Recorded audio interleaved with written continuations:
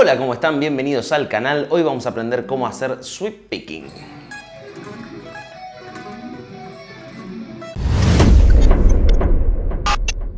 El sweep picking es una técnica que ya me han estado pidiendo varias veces eh, y parece como que es un gran misterio, como que nadie quiere develar el secreto del sweep picking, no sé por qué. Eh, técnicamente, el sweep picking es hacer esto con la mano derecha, mientras con la mano izquierda vamos haciendo eh, diferentes formas de arpegios. No es tan complicada la técnica de la mano derecha, ¿sí? porque es solamente hacer ese movimiento hacia arriba hacia abajo. El tema es que se sincronice la mano izquierda con la mano derecha mientras lo hacemos. El tipo de golpe que vamos a usar es el rest stroke, del cual ya hablé en otros videos antes. Eh, es un golpe en el cual nosotros movemos la púa hacia abajo y siempre nos apoyamos en la cuerda que le sigue o viceversa, ¿no? Si movemos la púa hacia arriba, siempre el golpe se apoya en la cuerda que está arriba. Así que vamos a usar dos posiciones fundamentales de arpegio, una de arpegio menor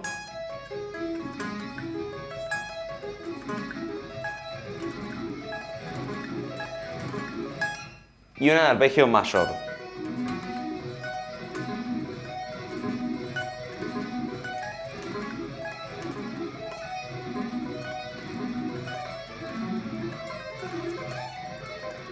Bien, entonces, el primero que estamos haciendo es un acorde de Do sostenido menor.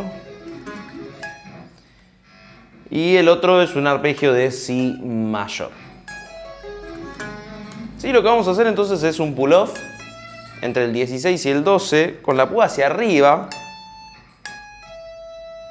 Y fíjense que la púa va siguiendo este movimiento hacia arriba.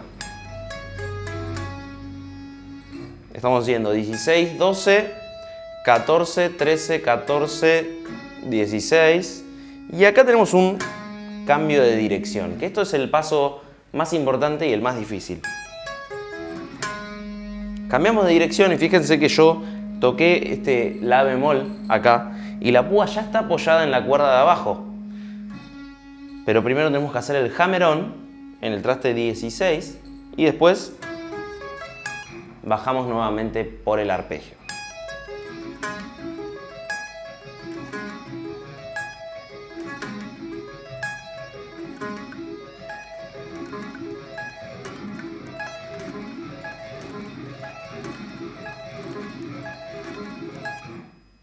¿Sí? Lo vamos a tener que practicar bastante lento. Esto está pensado en tresillos, ¿sí? lo vamos a practicar de esa manera con un metrónomo. Si el metrónomo está a esta velocidad, tac, tac, tac, tac,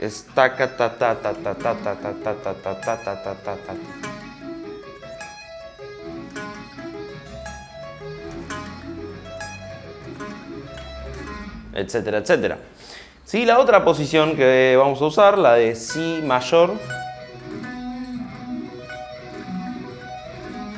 Le estamos agregando al Si mayor, le estamos agregando el, mi, el La bemol. Pero no importa, es por un tema, queremos practicar la mecánica, no nos preocupemos tanto por qué arpegio estamos haciendo. ¿sí? Eh, bien, la posición acá entonces, el movimiento de la púa es el mismo, pero estamos haciendo 14, 11, 12, 11, 13, 14. ¿sí? Acá tenemos la primera tríada mayor y la segunda. Por cierto, si no saben de lo que estoy hablando con respecto a las tríadas mayores y estas técnicas, y si quieren saber más al respecto, tengo disponibles los paquetes de técnica para descargar en mi página web. Eh, el link está en la descripción, lo pueden chequear. Eh, también pueden ver un video que voy a dejar por acá arriba que habla justamente sobre eso, si les interesa aprender de manera ordenada y rápida todos estos conceptos. Bien, entonces lo que vamos a hacer es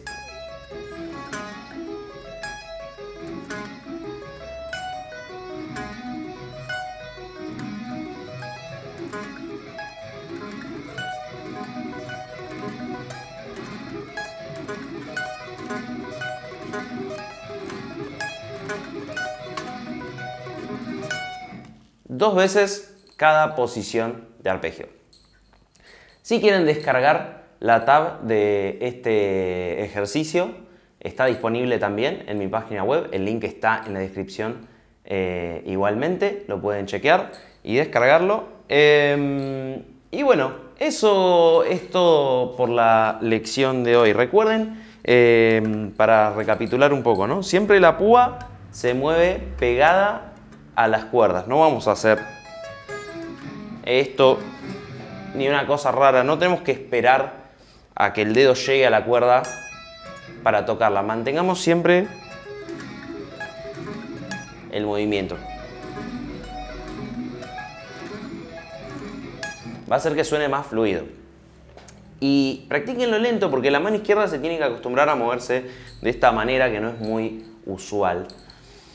Eh, recuerden y tengan paciencia porque el sweep picking es una técnica que lleva tiempo. Más allá de que entendamos la mecánica de cómo se hace, eh, nos va a llevar tiempo de práctica.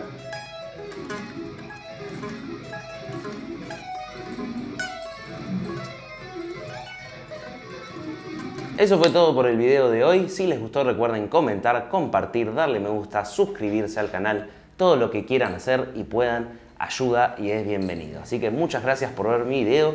Nos vemos la próxima. ¡Chao!